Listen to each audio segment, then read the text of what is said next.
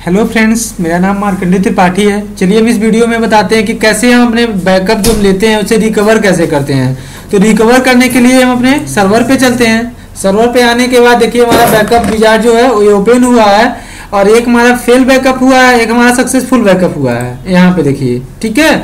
तो हम रिकवर कैसे करते हैं? तो इसके लिए हम क्या करते हैं, कुछ फ़ाइल को डिलीट करते हैं। उसके बाद से चेक करते हैं रिकवरी कैसे होती है। हमारा, मान लीजिए सी का मैंने बैकअप लिया था ये मार्कंडे नाम का एक फोल्डर है, ठीक है? और यहाँ पे मैं डबल क्लिक करता हूँ, और राज नाम का जो डॉक्यूमेंट है, इसको मैं डिलीट करता हूँ। सपोज़ करते हैं हमसे गलती से डिलीट हो गया है, ठीक है? और मैं इसको रिकवर करके दिखाता हूँ कि कैसे ये आता है। तो इसके लिए मैं स्टार्ट पे आता हूँ एडमिनिस्ट्रेटिव टूल पे आता हूँ, यहाँ पे विंडोज़ बैकअप पे क्लिक करता हूँ कंटिन्यू करता हूँ। कंटिन्यू करने के बाद यहाँ पे एक ऑप्शन आपको दिख रहा है रिकवर रिकवर पे मैं क्लिक करता हूँ तो रिकवर करने के बाद कह रहा है कि द सर्वर नेम ये, जो बाय डिफ़ॉल्ट हमारा सर्वर का नेम बता रहा है, मैं उस पर ही रहने देता हूँ। नेक्स्ट करता हूँ।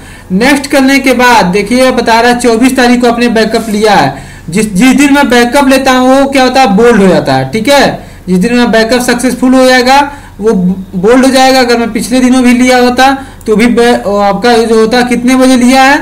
बारह बज के दस मिनट पे, ये हमारा टाइमिंग भी बता रहा है, ठीक है?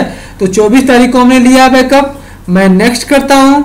नेक्स्ट करने के बाद फिर से यहाँ से पूछ रहा है फ़ाइल एंड फोल्डर को आप चाहते हो रिकवर करना या पूरे वॉल्यूम को ही चाहते हो रिकवर करना? तो अगर आप चाहते हो फ़ाइल और फोल्डर को करना, क्योंकि मैं फ़ाइल फोल्डर हमें निकालना है वॉल्यूम का भी निकल जाएगा यहाँ से तो मैं फ़ाइल और फोल्डर में हमारा एक डिलीट हुआ है, मैं उसका रिकवरी करना चाहता हूँ। तो इसके लिए मैं नेक्स्ट करता हूँ। नेक्स्ट करने के बाद ये जो मेरा सर्वर का नेम दे रहा है, मैं इसको स्पेंड करता हूँ। सी का हमने बैकअप लिया है। मार्कंडे नाम का फोल्डर में देखिए यहाँ पे दो ऑप्शन दे रहा है, ठीक है? तो ये मेरा डिलीट हुआ था। मुझे अगर रिकवर करना है तो मैं यहाँ पे इसको सेलेक्ट करता हूँ और नेक्स्ट करता हूँ। नेक्स्ट करने के बाद दो ऑप्शन दे रहा है। ओरिजिनल लोकेशन पे चाहते हैं, वहीं पे सेव हो, जहाँ से डिलीट हुआ है।